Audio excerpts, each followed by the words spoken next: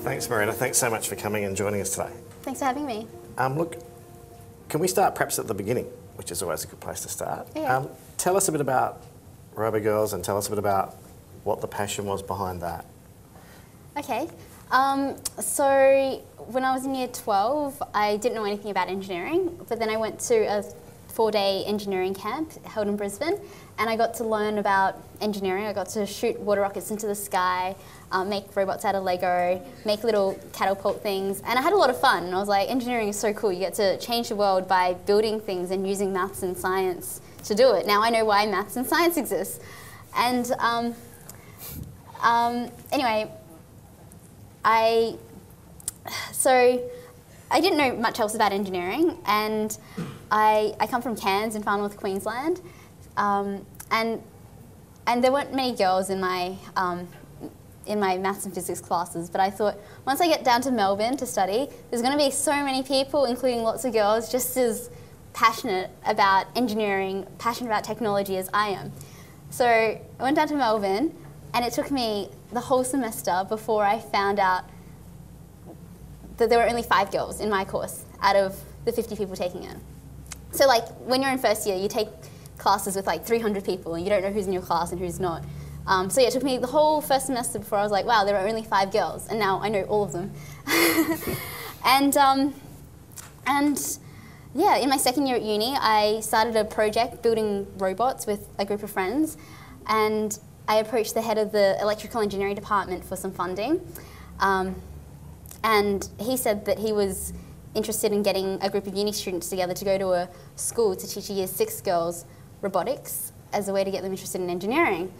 And I went away and thought about it, and, and I thought, you know, this could actually work. We could actually see more uh, women in engineering through this. I could, I could have more girls in my class, um, and it could make a huge difference. And I thought, well, rather than just going to one school, why don't we go to all the schools? And so I read up a plan and I recruited all my friends during my exam period.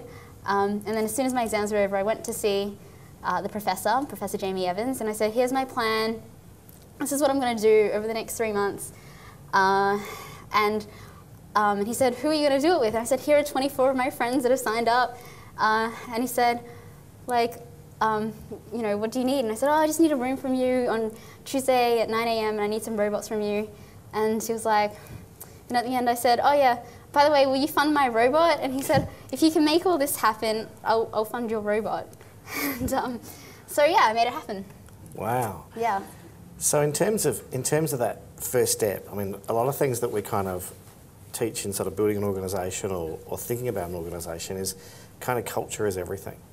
How did you how did you sort of build that culture? I mean, you had friends for a start, and then kind of how did everyone keep enthusiastic and how did you keep the, the culture alive or how did you get the message out? Well, I only had I only had about three months to do the project Uh-huh. um, because after my exams finished, uh, it was July, and then at the end of September, I was going to London for a year to study at Imperial College in London.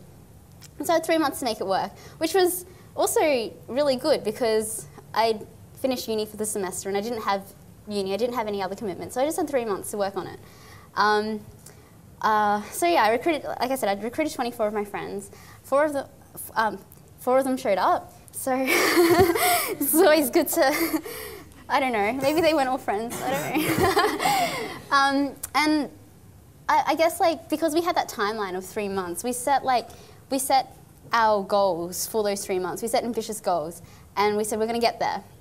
Because we had such a small timeline, we just had to run and run and run and run to get there. And, um, and, and we ran, yeah. And what were the really important things do you think you did back then that really made a difference in that in that really short timeline of three months? Um, I, I listened to people. I, uh, so yeah, with the initial uh, people that showed up, um, like by day, uh, by week two, um, I was thinking, okay, what roles can they, what roles can they do in the organisation?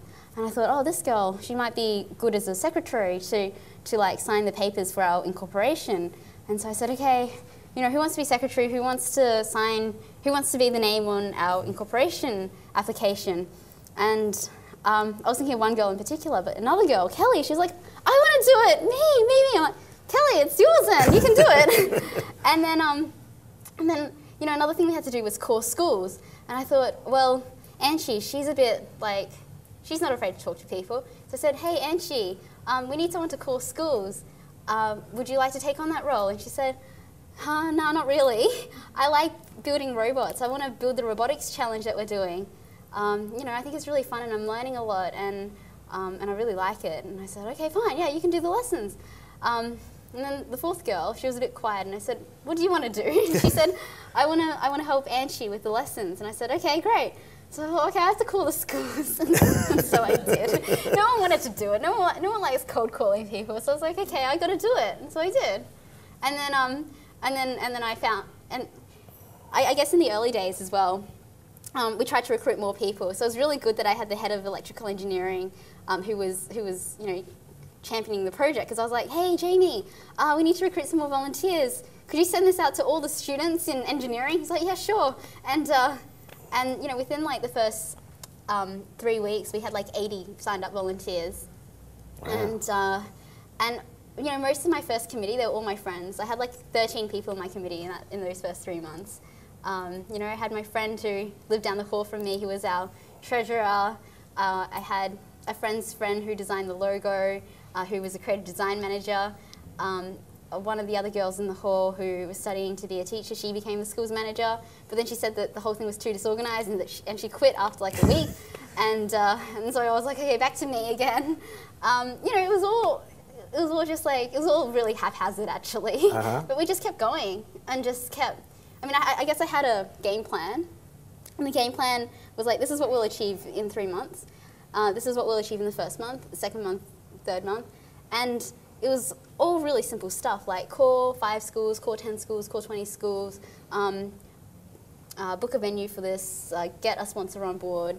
Um, you know, just mm-hmm. really, really basic stuff of what we actually wanted to achieve, not, not getting uh, caught up in the details. Yeah. And so we just, you know, kept working that game plan. Because I guess one of the one of the things that, that we often see too is that, and it probably reflects that, that um, we sort of teach that you're trying to create a platform, not a process. So almost if you tried to draw a process out of all of those things, it, it may not have worked. But trying to just focus on the outcome or a platform or just get to this point seems to have been a good way for planning for you. Well, I, I'd actually read the E-Myth before I did this. Uh-huh. So that's why everyone in my team, all 13 of the people, they all had specific roles. Um, but having said that, after I went to London, um, I, you know, I realised that didn't work, having 13 people, because if you have too many people, then they don't own the project. They don't see it as, as theirs because they only have such a tiny role to play. So we got rid of that structure and we said, okay, well, what are the tasks that actually need to be done in order to make a Robogals chapter run? Um, and so we wrote out all the tasks and we said, okay, well, what, you know, how can we group these tasks together? And out of that, we came up with a new um, structure, which which was which is what we're still doing today. Mm-hmm. Um, a chapter has six positions, and these are the roles, and this is how they're defined, and this is how they work with each other. Um, and and so yeah, in, by like the six month mark, we we had this entirely new structure, entirely new team with six people. Um, and, and, you know, yeah, we had we had some structures in, in place, and and since then we've um, since then we've you know we, we always work on the structure, we always work on the processes. Um, so yeah, I guess it's taken us, it, it, took us some time to like get there, but we got there. Um, I mean, so when I went to London, I thought I want to start up Robogals here in London, but I was really overwhelmed because London's huge and I'd never like worked in such a big place before. Um, but after I was, but I was like, I, I have no idea what's going on. I can't do anything here. Like, but after I was there for three months, I realized that there were no girls in engineering at Imperial College. There were like 15 girls out of 150 in mechanical engineering. There were four girls out of 120 in computer science. Like two girls out of 17 in aerospace engineering. So it's like, you know, I, I'm the one. I have to do this. And um, so, yeah, um, I, uh, I mean, no one showed up to the first couple of the first two Robogals meetings. So I just sat there and cried. and uh, then I emailed everyone and I said, we had a really productive meeting. and I said, when are you free again? And, um, and then by the, by the time I left London, I, I, had a really great team and we, you know, we had our second chapter. But while I was over there, I, I noticed that um, all the organiza- all, all the student organisations in, in the UK, they were national. Uh, because it's such a small place and it's really easy for people to get around. And I thought I want Robogals to be national in Australia, and so yeah, I set about organising that here in Australia. Wow. And um, and yeah, that, that first conference we ran, it was just, it, I, it went really, really well. But it was also, you know, I was just really lucky that it went really well because I had um, my team around me who, who, who I was like, okay, well, we need to, you know, run a, we need to run an activity now for our 20 participants who've come from all over Australia and who are all female engineering students from like um, University of New South Wales, University of Queensland, um, University um, of uh, Adelaide, University of Western Australia. Uh, I said, you know, and, and, and my team just like pulled together and, and, I said, you know, I delegated some different sessions for them to run and they, they did it and all went smoothly and I thought, oh, that went so well. I'm going to do the same thing in London. I know I, I, I'm going to go back there in six months' time and like expand Gals all throughout the UK. Um, and I, I thought, no, I've got, I've got some experience. I've done it once in Australia. I should be awesome at this next time around. And so there were 42 people that went to that uh, conference in, in, in, the UK, uh, except I didn't have my team around me, and uh, that was a that was that was a challenging weekend. um, so I got back from that, and and um, after the first conference, we decided, oh, this this should be an annual event, so that people from all over the country can meet each other and upskill and get to know each other. And so after I came back from London, I was like, crap, I have to start preparing for the next um, conference in Australia. And and you know at the same time we had 13 chapters around Australia, and I was um, I was their mentor once a month, so 13 mentoring calls a month, as, as well as my own little team, as well as organising this conference, and uh, and at that point it was like wow we need some really good processes and structures in place, and um, and so that's what we did.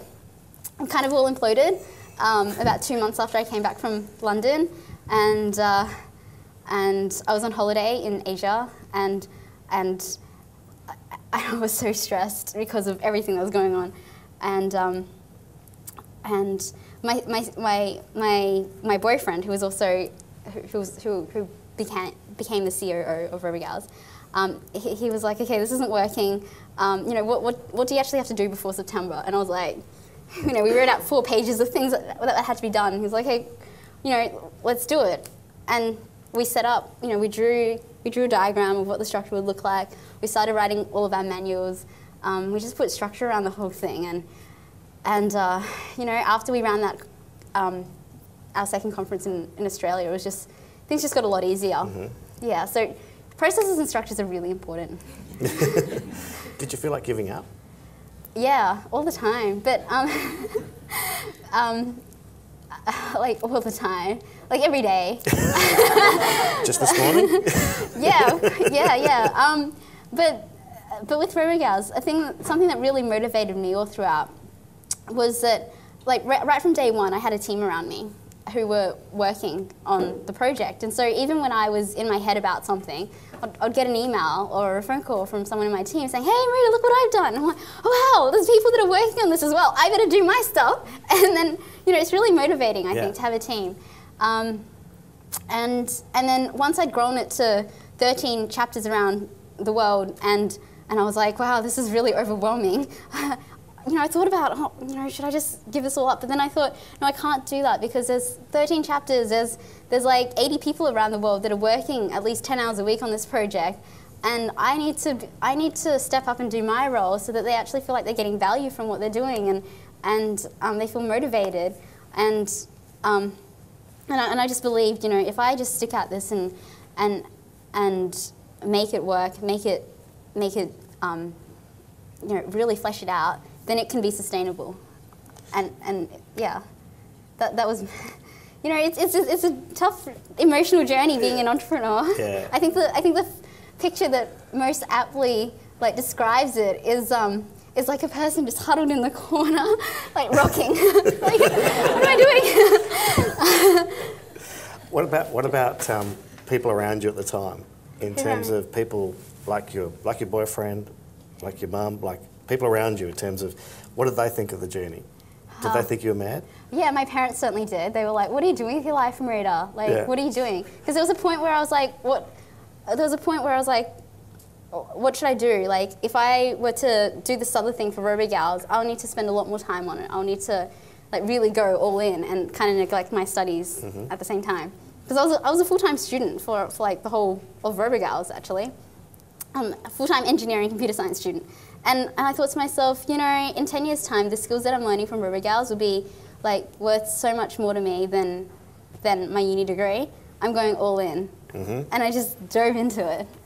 Um, and, and my parents were like, what are you doing? um, but yeah, I mean, I have those thoughts, but it's not like I talk about them all the time. Yeah. It's, it's just like, yeah, they're there, and you're like, okay.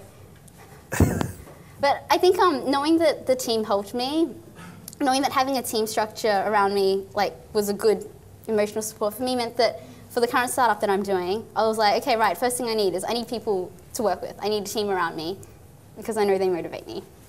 Because you could have, I mean, jumping onto that just a minute, you could have done Robogals for the term your natural life, I guess. It could, it's, it's sort of got a life of its own now, right? Um, but obviously you have to break clear of that at some stage or break, break away so that you can do stuff that you want to do. How hard was that? It was, yeah, it was really hard. Um, I think I always knew that I wanted um, to leave RoboGals when I graduated from uni um, because I, I saw that that was the best way to sustain it. That was the best way to make sure it could live on for 10, 20, 30, 50 years.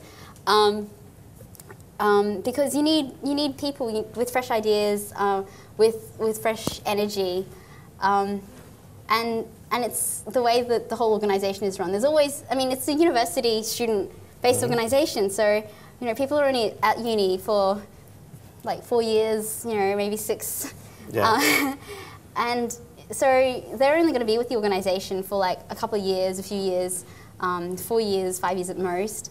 Um, and, and I just I just saw that it was really healthy to have that energy, have that um, have those new ideas.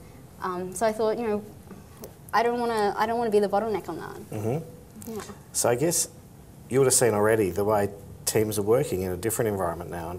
You're in a, um, you know, almost a volunteer organisation, or Robogals being that, that way. You must have had instances where the whole team wasn't working the one way, that they're all working in different directions, and they're all volunteers. How do, how do you cope with that? I so all my volunteers they always had like in my team they always had a set role to do, um, and so what I used what I used to do is would have a team meeting like every fortnight, and then um, every week I would meet with each of my team members individually and just find out where they were at, where they were at and how I could support them. Um, but I really think that yeah the role of a leader is to support everyone in your team and make sure they have what they need in order to do their roles properly. Um, and I think that if they know that you have their back, then they're loyal to you and they want to do their best. So do you think those, those lessons will be useful now in your kind of I, yeah, I mean, there were some really tough situations when I was when I was doing Robogals. Like so many times where uh, projects were just not going to happen, um, and I um, and like for example, like three three weeks out of a, a, an event happening, or four weeks out of an event happening, or whatever, I'd be like, okay, this is you know this is just not going to happen. Then I'd be like, hey, Marita, you're just gonna go. You're just gonna go into it. You just got to do it like to the best of your ability up until the event because you're going to like if you can get through this, if you can get to the other side of this, you're going to be so much stronger, so much better than you ever knew yourself to be. And I don't know what I don't know what that's going to look like, but I just know that you're going to be better.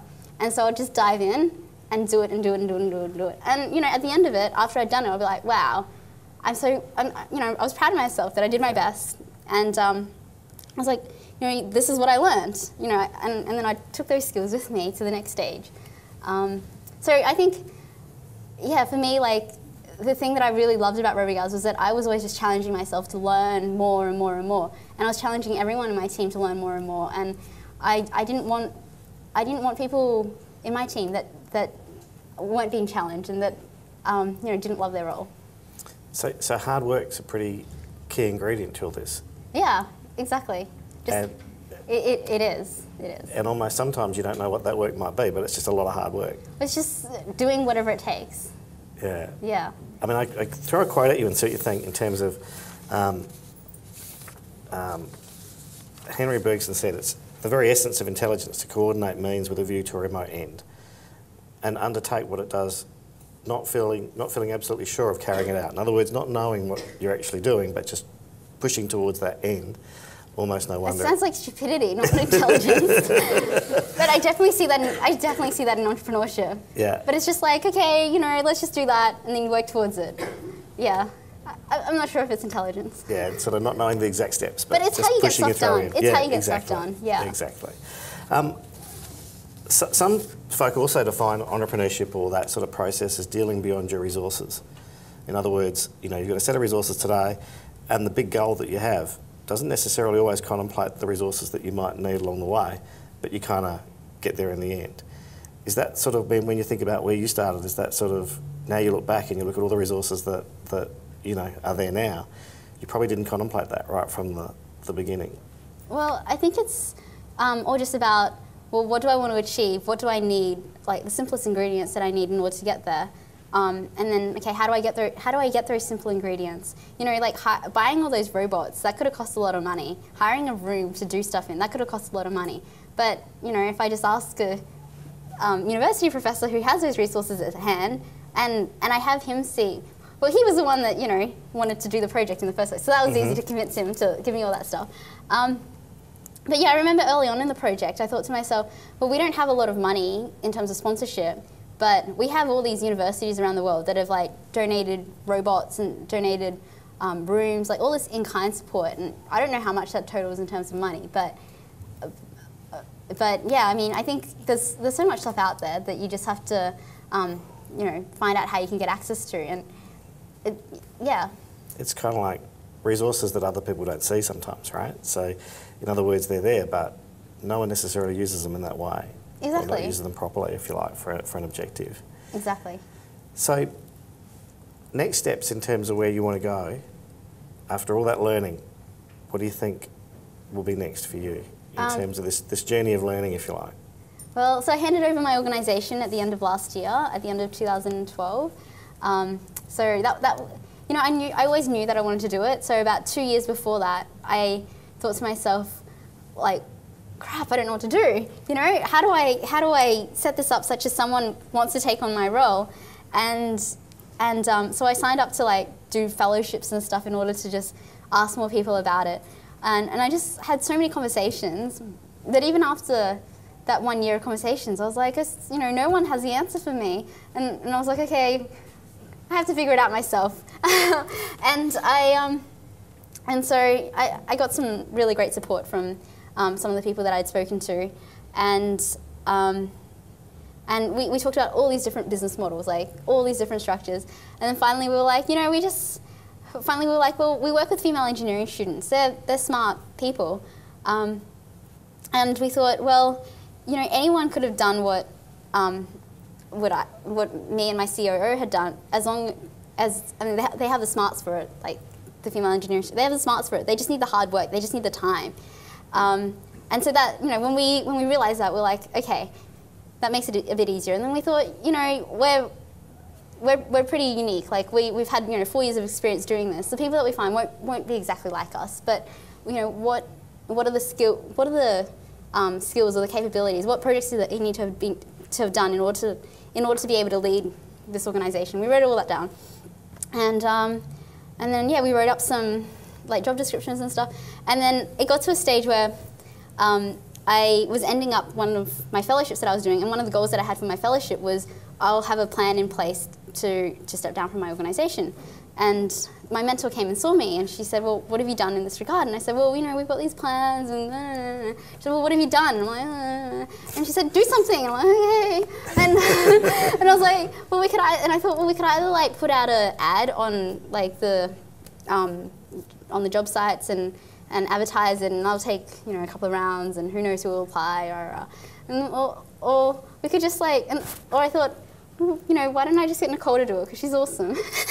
and so I called Nicole into my office like half an hour after the mentor left, and I said, Nicole, I want to offer you a role, and uh, you know, and she accepted the, she you know, she was really flattered. She saw her opportunity for herself, and like three weeks later, she she she accepted, and um, and then about a month after that, we we, you know, we, we we did the same thing with the COO position because we like, we don't know who's going to be the new COO. But then, but then at the conf- at the conference like the month earlier, we noticed someone who we thought had really great organizational skills and who had a really systematic mind. And we thought, well, you know, why don't why don't we get Sam? And so we kind of, you know, had a chat with Sam, and and you know, they're our new CEO and COO.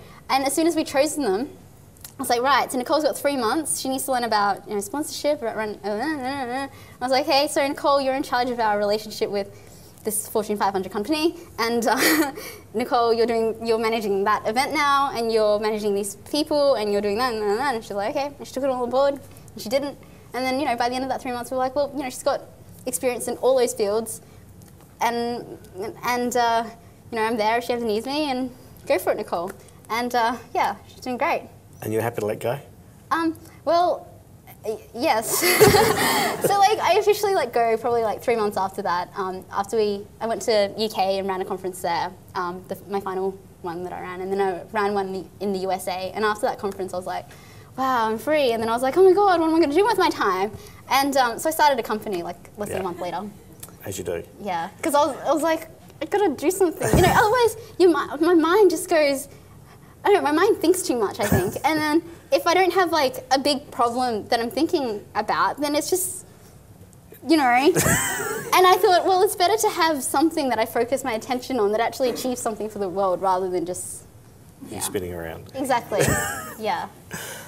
You mentioned mentors Yeah. a couple of times. There must be some mentors that you listen to and some that you don't. Um. So. How do you pick the ones that you listen to? Yeah, I, I'm. I. So with mentors, I, I didn't really have any mentors, like as in an official mentor throughout the whole of my time with RoboGals. Um, I just watched a lot of talks, like online, like TED Talks and business plan talks, and, and like read lots of blogs to get lots of ideas about things. Um, and yeah, I just spoke to a, I spoke to a lot of people. Um, and if I had a problem that I thought someone had the skill set for solving, I would send them an email and say, hey, I, could you give me some advice on this or could you give me some advice on that? And yeah, and people would send me emails back and say, this is my advice. Um, so yeah, I, I don't really have like an official mentor. I just like, I guess I have the whole world as my mentor. And you choose better. to listen to what, what might make sense at the time, Well, right? I, I, um, I listen to everything and then I decide what will be the best course of action for me. Because I think that whatever, um, whenever someone gives you advice, it's all based on like their experience and, um, and their situation at the time. And that might be different to your situation, your, um, your context at the time. So ultimately, you're responsible for your own decisions that you make. And so you know, you've got to weigh up everything and then choose and then be responsible for your choice. So when, when all the problems become too big and that mind isn't quite working them out, where do you go? What do you do? Uh, well, big problems always start from small problems. so you've got to nip them in the bud before they become big problems. And then you have to worry about them. And you know, I think it all usually comes down to people. Uh-huh. Like that's the that's the hardest thing. You know, I, I remember reading when I was um, in my first year that um, more companies fail in their first year due to people problems more so than any other problem, more so than like lack of technical ability. It's just people problems. And I thought, well, yeah, RoboGals is a great experience because I'm working with people all the time, and if I can manage, if I can manage hundreds of volunteers, then like when I have employees, it's going to be a piece of cake compared to this. You know, compared to like getting people to do stuff for free. You know, Yeah. if you're paying them, um, you know they, they've already got that commitment. Um, but then if on top of that, you know, you can inspire them, you can. Um, you i- i- if I can bring all those skills that I use with volunteers to, to my employees, then who knows what they can create. So we, we kind of also say that innovation flows through people, right? So it's not necessarily a, a patent or a neat technology, it's the people that make all those things kind of work. Yeah. You deal with a lot of technical people, kind of in engineering, Yeah. or, or, or, or get amused by the technology and amused by the problems that that, that Yeah. has. How's that a challenge for the people you work with in terms of perhaps communicating or getting everyone else to understand that it happens through? I don't know. I think it's really. Gr- I like. I mean, everyone I've worked with, I, um, I, I think that the main thing is that your expectations have to be aligned. I mean, if you're expecting this and they're expecting that, then it's not going to work. You need to both Yeah. like have really clear expectations and to always communicate so that your expectations are, are, are well founded and you're on the same page. Otherwise, it's not going to work. So yeah, I think communication is really really important. And um, like I said, yeah, big problems they all stem from little problems and and, um, and and mostly yeah, it's about people. So if you're communicating with them and um, and yeah, I mean, then then you don't have that. Yeah, sometimes, because I guess sometimes it sounds like you've got people out of their comfort zones, talking to people they didn't know they needed to talk to, cold calling, all those sorts of things, as well as sometimes having them just do the thing they like doing rather Yeah, than yeah. necessarily uh, doing anything they don't want to do. Yeah. Um, Well, I think um, you got to be prepared to ask some questions. Um, I, for, for example, if I'm mentoring someone and I say, well, you know, oh, you know, how about we do this? So, well, okay, so I like to have people set their own goals. Yeah. Um, because, so, yeah, if I, have, if I have an idea, I'll be like, oh, this is my idea. And I say, okay, so, you know, we're going to get there by then, but I want you to set your own goals. Um, and then they'll set them, and I say, oh, no, I don't think that's quite, you know, big enough or pr- precise enough. You know, I, I- think you can do better than that. And then, you know, they'll, they'll, uh, they, set, so they set their own goals with my guidance, and then, um, and then I can say to them, you know, you set your own goals. Like I'm just holding you to your word when I mentor you. Um, and I mean, if they write something down with, um, and, and then I say, yeah, do you think, so yeah, so this is what you'll do over the next week. How does that sound? And if they're a bit unsure, I'll be like, you know, what's there for you about that? And they, they might say, oh, you know, I don't know, I don't, I don't like calling people. I don't think they want to hear from me. Like, oh, you know, the thing is, you don't know if you if you if you haven't like called them. You know, they might be thinking this is. They might like pick up your call and be like, this is the best thing in the whole world, and they might like you know use that to transform the whole school. And maybe one of the girls in that class is the next Mark Zuckerberg. You never know. Yeah. And and they're like, oh, okay, and then they go and do it. So it's almost like managing their goals and managing them by goals rather than necessarily the itty bitty of what they do, but holding them accountable to those goals. Um, well, I mean, yeah, I don't. Well, it's just holding them accountable to, yeah, ta- tasks. Yeah. Um, yeah, yeah, you're, you're right. Yeah, outcomes. Yeah. So I'll give you another quote. See what you think of this. Winston Churchill said something around the. He said, "The maximum nothing prevails but perfection, may be spelt paralysis." Well, yeah, there's a really good quote. It's um, um, paralysis by analysis, and engineers are apparently very good at that. Um, yes. uh, yeah. Do you do that? Uh, no. Because I get impatient. Um, I, I get impatient. I'm like, oh, but um, I need to set really short-term goals um, to motivate me. Otherwise, like, I, yeah, yeah. So, so I, I always, um, I always set like three-month goals actually, because I think that if you set like a month one, one month goal, that's too short of a time, and you can get um, demotivated and not not work towards your goal. But if you have like a three-month goal. Um, uh, that, that inspires you, then you can work towards it, you can get demotivated, but then you know you remotivate yourself and you keep working towards it. And then at the, end, at the end of three months, even if you don't get there, at least you're like 20% of the way. And you're like, wow, I can't believe I achieved like 20% of my like big, hairy, audacious goal Yeah. in like three months. And ah, now I have to keep going.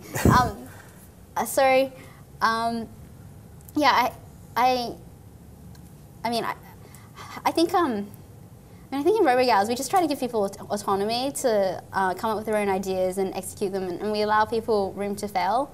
Um, so, I mean, there was an event that I mentored someone to run, and um, it didn't go as well as we'd hoped, and um, and, and I think she was really disappointed. Um, what I said to her after the event was, I'm really sorry. Um, I, I take responsibility for not like mentoring you more and, uh, throughout the whole process and, and not being there for you more um, in order for us to actually achieve our goal. But um, you know, we learnt a lot from it, and we're going to use all, all that stuff we learnt and have and make this event work the way that we want it to in in um, four months' time, and we did. The next event we ran was so successful and it's so amazing. So mistakes are part of the process. It's part of the process, yeah. But I think, um, um, yeah, if you're if you're working with people, like, um, you know, sourcing sourcing where you're responsible for what went wrong, and um, yeah, just making sure that people know that you've got their back, and So- they'll have yours. Yeah. So it's not always creating blame on the person, but taking the blame as a as a group. Um, well, yeah, but I mean, doing that authentically. Yeah. Like, you don't want to just say, oh, it's all my fault, it's all my fault. But, like, you know, really looking at well, what could I have done in order to have really made a difference.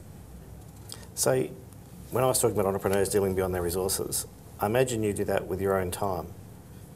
How do you, how do you kind of turn one day into two days, which I imagine you must do a fair bit? Um, I see. I, I don't. I don't think of growth linearly. hmm I think that growth is like growth is like all over the place. um, and and I don't know. Something I like to do is just like think about what's like every now and then, just thinking about okay, what's actually happening here? Like where are we heading? Um, what what other opportunities? What other things have I seen in the world um, that that could mean that um, we change the way that we get to our goal? Um, how can I take how can I take advantage of the opportunities that are out there? Um, and I'll just sit and think, and then and then write those things down. I'll be like, and you know, sometimes you come up with things that will help you get to your goal like five times quicker. And um, yeah, and I think you know, when I sit and think and come up with those ideas, you know, they're more productive than like working for like a whole month. You know? hmm So it's almost like doing, sometimes we explain in kind of commercialisation or that sort of growth phase, you're um, not doing the, the steps in order sometimes. You're sometimes doing the last step first, almost, to try and get you to where you need to go. Does that kind of make steps, or not, or not necessarily doing a whole list of things? It's more about what thing can I do now Yeah. that'll pull those other things along. Yeah, but I think it's also like believing in what you're doing, um, such that you can like, such that you can skip 10, 10 steps ahead. Mhm. I don't know. It, that doesn't sound good. You don't you don't skip them. You just like, um, I mean, you, you get them done. You need to Yeah. get them done. Like you need to get every step done like properly Along the way, right? like, with integrity. Yeah. Um, um, but yeah, there, I mean, there are steps that you can take that um, to set things up for the future. Mhm. Um, I mean, you know, some relationships they take a long time to develop. You need to like start start those relationships earlier, so that in six months' time you already have that relationship um, that you can call on. So, how important are those relationships to you now in jumping out and doing something new or doing, doing anything that you want to do from here on in? Uh, well, I think that um, I think that yeah, whatever you want to do, you need to form relationships within that field. So, um, yeah, so it, it's it's different, you know. Yeah. Yeah, But the skills are probably the same in terms of, in terms of knowing how to build those relationships and knowing how to help people get their goals and all those sorts of things. um, sure. And I think I think that all just boils down to being interested in other people and. Because I think people can see through, like, if you're not interested in other people, Yeah. and if you're just um, you know, if you're fake, I think people can see through that. So you got to, yeah, be genuine about, um, yeah, about about who you are and who they are, and um, and it all stems from that. I'm going to give you some. So I think, like, yeah, I think Yeah. it's important that rather than t- trying to change everything like on the outside, changing things on the inside, um, because that's what shines through. Did, did you always think the sort of entrepreneurial process was good? The entrepreneur. What do you mean? In other words, pursuit of, of markets and growth and all those sorts of things. Is that a, a thing you've always kind of been drawn to, or is it more just getting an objective out there? Is it is it the pursuit of um, the entrepreneurship way of either making money or whatever it might be, or is it more just getting your stuff out there? Well, I always, um, I was really inspired by the Google guys and by Steve Jobs when I was in high school. And I think what inspired me was that um, they I mean, the Google guys were, were in their 20s, um, the Apple guys, um, 21 and 25 when they, when they founded their companies. And I thought it's so amazing that in this day and age, like if you're young, even if you're young, you can use technology and create huge impact in the world in a really short space of time. And that's what inspired me, that you could actually create tangible change in the world that like change people's lives in, in a short space of time. And, and you know, and I, and I just saw that the vehicle for doing that was starting a company. Cool. I'm going to ask you five questions, and I, you probably heard these before. Okay. What word do you really hate? Um, yeah, I, I, I dislike negativity. uh, yeah, like when people are negative, it just it's just like, huh, huh. so like is so if I have a project, I'm like, oh my god, this is gonna work because of this, this, and this, and this. Ruda, you haven't thought about it. I'm like, oh, shut up. Let's sort that out, you know? Or like when I'm like, oh, you know, we're gonna do this, we're gonna do this. Like, uh, just people like, you know, you know, you got this bubble and it's getting bigger and bigger, and people like getting needles out and poking it and deflating it. It's like it's such a killjoy. It's like, just play, you know, just play with it for a while. so, um, yeah, How would you describe what you do to a five-year-old? I, I, uh, I play with robots and I make stuff happen. I don't know. That's good enough. Okay. That's pretty good for a five-year-old. Okay, great. You're cool then suddenly. At your funeral, what would you most like to hear someone say about you?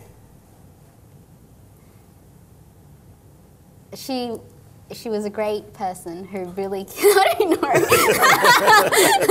who, uh, who who really cared about people and who made a difference in the lives of who made a difference in the world to the lives of billions. Cool.